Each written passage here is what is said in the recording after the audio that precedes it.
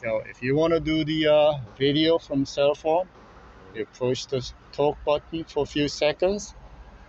It switches the, the radio screen over Mhm. to the cell phone's mirror image. hmm And again, before you do this, you better hook up your source as a USB AUX. So audio goes through the radio.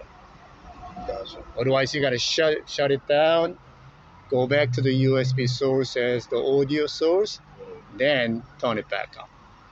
Um, now, question: Yes.